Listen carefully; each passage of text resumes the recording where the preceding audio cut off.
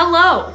I feel like it's been a little while since I actually sat down and did like a decent intro. I was sick and I've been moving if you couldn't tell I moved. So I was just super busy so I feel like I haven't had a lot of time recently to like sit down and really go in depth and film a video. I've still been making videos because I still want to be active on here but I feel like they just weren't the quality content that I want to put out. I mean hopefully you guys still enjoyed them but I feel like I can be doing so much better now that I'm not sick anymore and I am settled into my new place. So with all of that being said, before we go into the video, I actually want to discuss two things real quick, just, just super quick, don't worry. First thing is I plan on doing a Q&A video, so please in the comments below ask me any questions. It can be about me, about animals, literally whatever you want. I already posted on Twitter and Instagram that I was doing a Q&A, so you can send me questions on there as well. But if you don't follow me on either of those,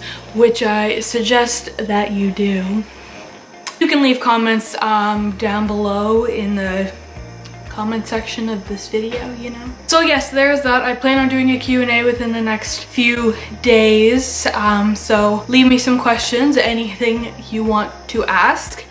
And then, oh God, what was the second thing? Oh, okay, yeah. Second thing was, um, some of you noticed in my past few videos, yes, I moved. I now have more than just a single bedroom to keep my animals in. I have a designated reptile room, a designated small animal room, and then I still have a couple things just kind of throughout like I have um, Mark my day gecko right here. So yes I actually moved. I have a bigger place now more room for my animals. So that's another reason that I was kind of like inactive. Sorry my furnace just turned on. That's it probably didn't make much of a difference but hopefully it made some difference. I moved and now that like all of my furniture and everything is settled in, I do plan on filming like a whole tour. Like, okay, so now we will actually get into the video. So a lot of you guys may or may not have watched um, my, like it was like two videos ago or something, a couple videos ago. I did a video all about how my Amazon tree boa got mites and then how I was treating for it and everything like that. So because of that, I had to tear down her enclosure. I had to empty everything out, throw out the substrate, and then like fully clean everything. I had to treat the cage itself, all the branches and decorations in it. So I did that a couple days ago, and now that everything is clean and treated, it is ready to be set back up again. So I thought because of this, I would take advantage of this and I would film it and then you guys can see how I set up the tree boa enclosure, how you should set up a tree boa enclosure, and all of that stuff. Many of you probably saw the enclosure before. It was like one of my favorites. I really liked how it looked, so I showed it a lot. But I also went out and I bought a couple new things to put in it. Not like a whole lot, but I just got a couple like more fake plants to add into it. So hopefully it'll be even nicer than before. And just a quick little update on my tree boa if you are wondering about the the whole mite situation. She's doing great. There's like no sign of mites on her or anything.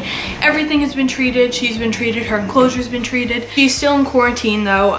I'm still going to do one more treatment on her just to make sure that everything is gone. Everything is going good so far. I have still been checking my other reptiles, my other snakes. No one else has shown any signs of mites, so that's awesome. So hopefully it will stay just to my tree boa and then we'll be done. All of this being said, let's go ahead and start setting up her enclosure now. Okay, so on the table behind me is her enclosure. This stuff is just kind of thrown in it. I'm actually gonna go ahead and take this stuff out right now.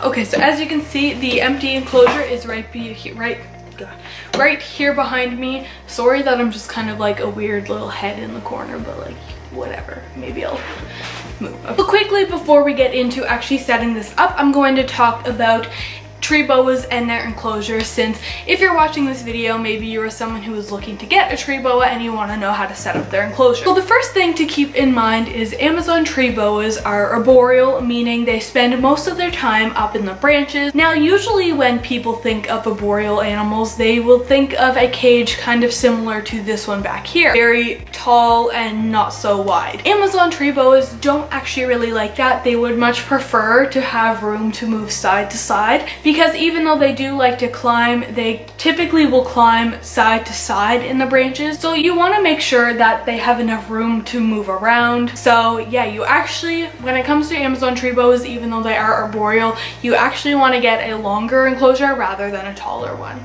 That being said, you do still need some height, obviously. It is preferred to have at least 24 inches of height. This here is only 18 inches. Um, I am trying to find a 24 inch one, but I'm having a lot of trouble. But it is my goal to eventually have a 24 inch one.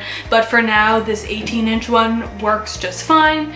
But 24 inches is preferred, but an 18 inch one will do if you can't get your hands on a 24 inch one. This enclosure here measures 36 by 18 by 18. So it's much longer than it is tall and wide, which is what they prefer. All right, so that being said, let's go ahead and add in the substrate. For my tree boas enclosure, I am choosing to use forest floor. I really, really, really, really like this for Amazon tree boas. This is probably like the only stuff I would recommend. Obviously, it doesn't have to be this exact brand, but like any kind of cypress mulch will will be ideal. So I'm going to go ahead. I have two bags. I'm probably going to add one and a half. Let's see though. So I'm just going to go ahead and add this in now.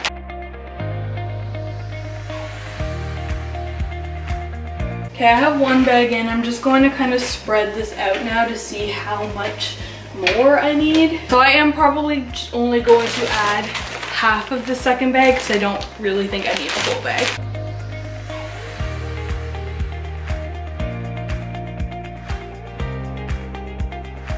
Okay, so this is what it looks like so far. The only thing I've done is I added one and a half bags of forest floor. And just in case you were wondering, I used eight quart bags because they do make different sizes. So I added basically like a total of 12 quarts because I added a full eight and then half of another. Now, the next thing I'm going to go ahead and add are these branches here. These were in her enclosure before, but I took them out and I treated them for mice and everything, so these are safe to put back in. Obviously, she is a tree boa. Tree boas like to climb, so it is very important that you have multiple branches in your enclosure. The more branches and places you have for them to like climb and perch, the better. So I'm just going to go ahead and add all of these in.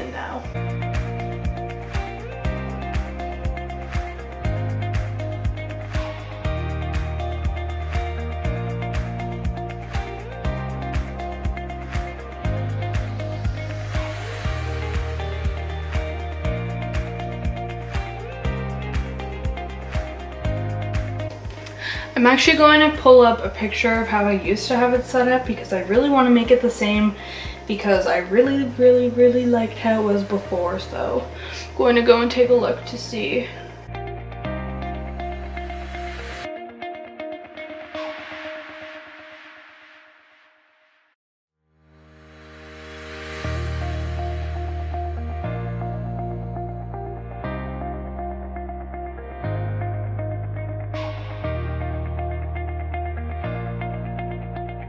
This is how my sticks are going. This is basically the exact same way I had them set up before. So now I'm just going to kind of make sure that they're like sturdy in place so that they don't just like fall over. So now I'm going to go ahead and add this vine. It's just a big vine.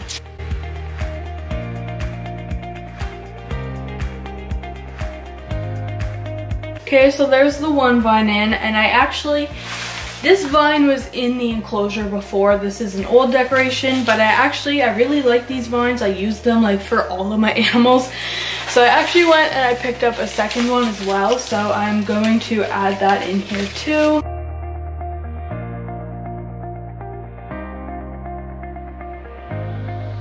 Okay, so those are all my vines added in. I'm really liking how it looks so far. It looks very full and jungly, which is what I'm going for. So the more plants and everything you have in your enclosure, the more secure your animal is going to feel. So I recommend filling it up as much as you can. So this here is also a new plant I picked up. It's, it's a fake plant, it's not real. So I think I'm going to try and add this in the enclosure as well.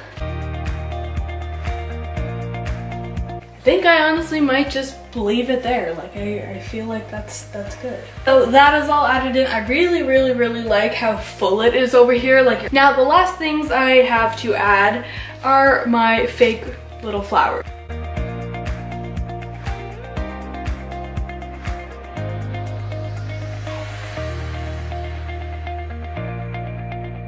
There, so now you can see the flowers are just back here and that's really about all I have. Now you may be wondering a couple other things like where's the heat source and the water bowl. Those are not being added on right now just because I have them in my tree boa's quarantine enclosure. Her water dish is in there along with her heat lamp. So normally her um, water bowl goes over here in this little empty area right here. When she's out of quarantine, her water dish will go back here and then our heat lamp goes up over here. So really that's about it for setting up a tree boa enclosure. They look super nice. I really, really love how they look and it's pretty easy to do. I mean, you really just want to make sure you have branches and plants and everything for the snake to climb on and explore around. Other than that, it's really not that complicated.